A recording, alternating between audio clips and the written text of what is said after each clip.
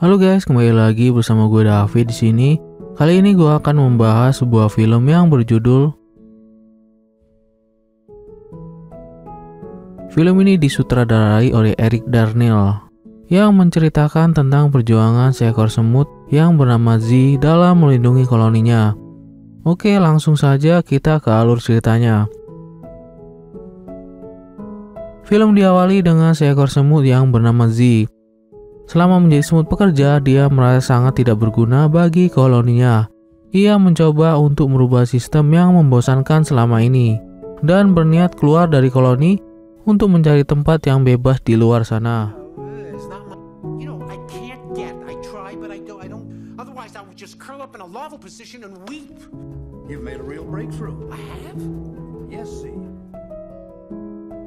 Setiap hari dia melakukan aktivitasnya sebagai semut pekerja. Bahkan status bagi semut pekerja sudah ia lakukan sejak masih menjadi larva. Saat ini semua semut pekerja sedang sibuk membuat proyek terowongan besar. Semua pekerjaannya dilakukan dengan sepenuh hati. Hari ini dia bersama sahabatnya yaitu TK menjadi tim penghancur tanah. Mereka bersiap membentuk bola dari ratusan semut. Saat berayun, Z tak kuat menahan beban teman-temannya. Ia pun membuat kesalahan dengan menjatuhkan bola semut itu.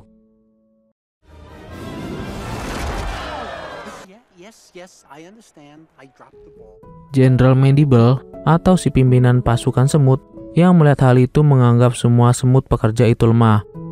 Dia menyuruh mandor semut untuk segera menyelesaikan terowongan sesuai jadwalnya. Sang jenderal mendapat berita bahwa pasukan rayap sebentar lagi akan menyerang koloni mereka. Wakilnya yang bernama Keter diperintahkan untuk menyiapkan pasukan terbaik untuk melawan para rayap.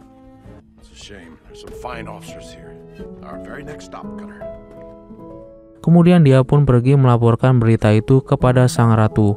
Sang ratu yang mendengar laporan itu merasa heran. Kenapa rayap tiba-tiba ingin menyerang koloninya? Jenderal beranggapan para rayap nekat menyerang mereka karena ingin mencari tempat bersarang dan sumber makanan yang baru. Tak mau ambil resiko, sang ratu menyetujui usulan dari jenderal itu untuk menyerang para rayap terlebih dahulu ke sarang mereka.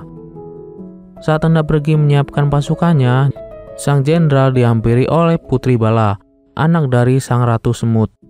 Ternyata sebentar lagi mereka akan segera menikah, tapi tak sekalipun jenderal dan Putri Bala ngobrol tentang masa depannya. Sebenarnya Putri Bala sama sekali tidak mencintai si jenderal ini. Sosoknya yang kaku dan terlihat angkuh bukanlah tipe putri. Dia hanya terpaksa menikah sebagai syarat menjadi penerus ratu semut berikutnya.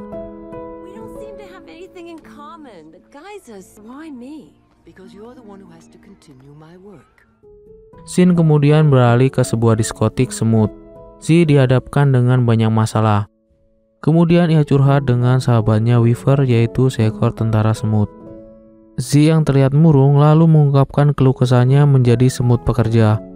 Di tengah curhatannya ada seekor semut tua yang sedang mabuk berat. Kemudian semut tua itu membicarakan tentang tempat yang menjadi surga bagi para serangga. Tempat itu dikenal dengan nama Insectopia. Z yang mendengar hal itu tentu tak percaya, karena tempat itu hanyalah dianggap mitos bagi kalangan semut.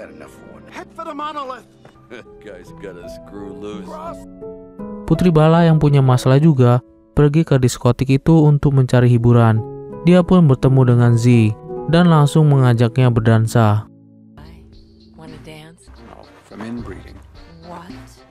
Saat asik berdansa, tak sengaja Z menyenggol semut tentara.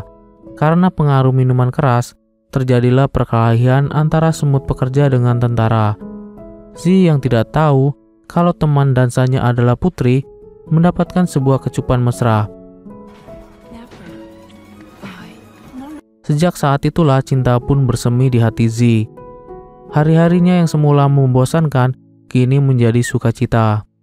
Setiap hari dia memikirkan sang putri pujaan hatinya. Sebentar lagi para prajurit akan pergi ke medan perang. Z kemudian punya sebuah ide gila agar ia bisa bertemu dengan putri. Dia pun meminta Weaver bertukar posisi dengannya. Sebagai imbalannya, Weaver bisa berkenalan dengan semut pekerja wanita. sedangkan Z bisa akan bertemu sang putri, yang hari itu akan melepaskan keberangkatan para semut prajurit. Dengan sedikit memaksa, Weaver akhirnya bersedia.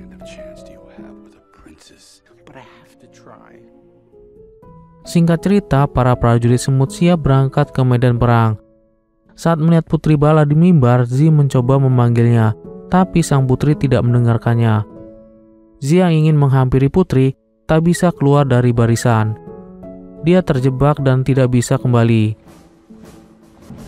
Hey, keep it moving, shorty.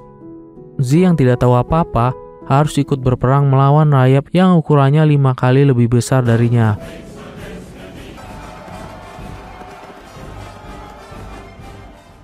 Pertempuran yang berbahaya tak bisa dihindarkan lagi.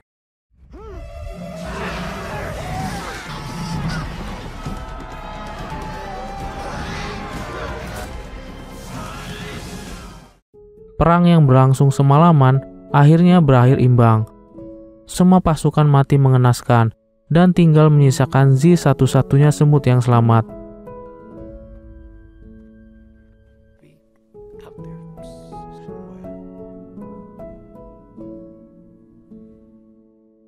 Saat kembali ke koloni, Jenderal Medi tak percaya kalau ada yang selamat dari perang itu.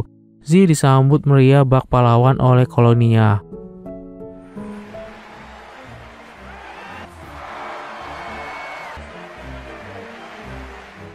Ratu kemudian mengundangnya ke istana.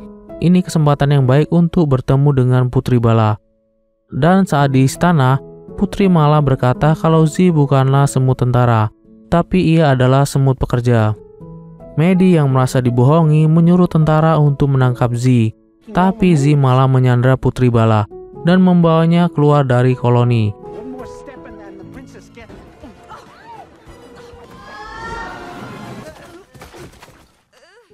Kini mereka berdua berada jauh dari koloninya.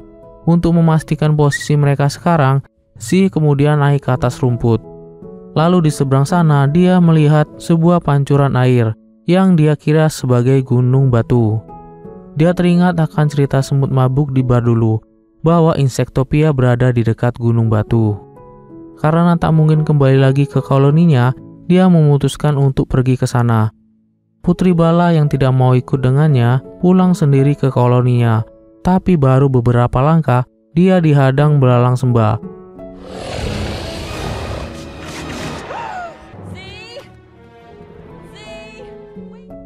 Akhirnya dia pun ikut serta dengan Z pergi ke Insektopia. Sesampai di Gunung Batu, mereka harus menyeberang melewati danau.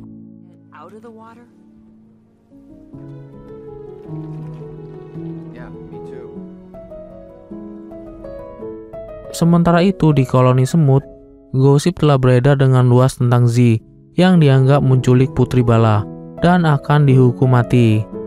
Para semut pekerja yang tidak terima berdemo menuntut pejabat agar tidak semena-mena. Tapi dengan janji manis dan bualan Medi, akhirnya para semut pekerja bisa dirayu dengan mudahnya. Each and every one of you will get the day off at the mega tunnel dedication ceremony. Kemudian Sin beralih ke Z dan Putri Bala yang berhasil sampai di tempat yang dikira itu Insektopia. Lalu mereka bertemu dua lebah yang sedang mencari makan di sana. Saat sedang asik ngobrol, tiba-tiba ada manusia yang memukul mereka menggunakan sudip.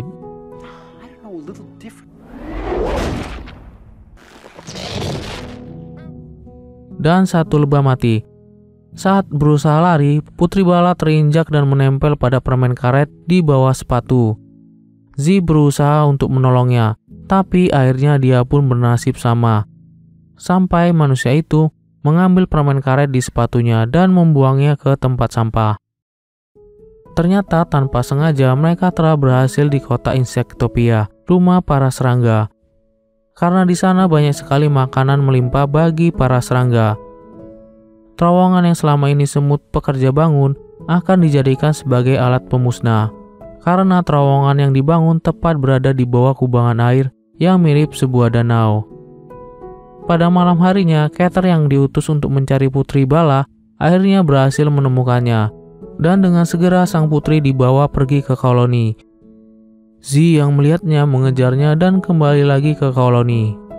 Sesampainya di koloni, Putri Bala yang tahu niat jahat jenderal akhirnya memberitahu Z bahwa air bah dari ujung terowongan akan segera menerjang jika tidak segera dihentikan. Mereka pun pergi menuju terowongan untuk memperingatkan para pekerja. Di sisi lain, jenderal telah mengumpulkan para semut pekerja bersama sang ratu di sebuah tempat. Selama ini, isu rayap yang menyerang terjadi hanyalah hasil karangan si Medi saja supaya banyak dari pasukan yang tidak bermanfaat itu mati sia-sia. Kini rencana selanjutnya adalah membasmi semua semut pekerja.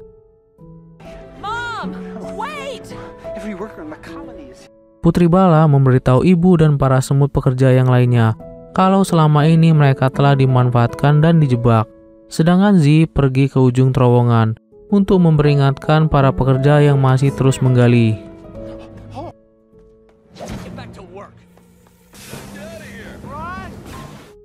Tapi semuanya terlambat. Air bah telah masuk ke dalam terowongan. Dalam sekejap mereka terkepung oleh derasnya air yang sebentar lagi akan menenggelamkan mereka. Mereka pun bergotong royong membuat menara dari semut dengan saling menopang tubuh untuk menggapai langit-langit terowongan. Ini satu-satunya cara agar mereka bisa selamat sampai di atas. Sementara itu di atas sana, Medi telah bersiap untuk pergi membangun koloni yang lebih kuat di luar sana, tanpa semengetahuan semut yang lain.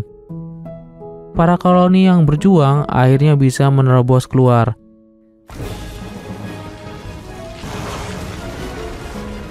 Selain dari para semut lain, yang melihat hal itu merasa dipermainkan sang jenderal. Carter yang marah memukulnya sampai jatuh. Jenderal yang tidak terima kemudian menyerang Carter dan Z. Colony! Tapi dia terjatuh ke dasar bersama Z. Sementara semut yang lain berusaha untuk membantu para semut pekerja agar bisa keluar dari sana. Sementara itu, Carter berhasil menolong Z yang tenggelam. Z yang tidak bernapas kemudian diberikan napas buatan oleh Putri Bala.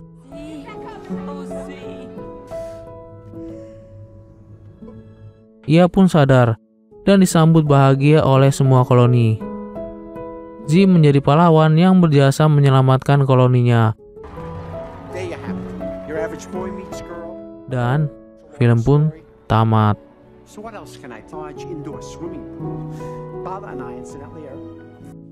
Satu pesan yang bisa gue ambil dari film ini adalah supaya kita selalu bekerja sama, saling membantu dan saling peduli terhadap sesama. Oke deh guys, sampai di sini dulu ya alur film kali ini.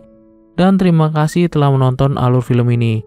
Jangan lupa like, komen, dan subscribe-nya ya. Sampai jumpa di video-video selanjutnya. Bye.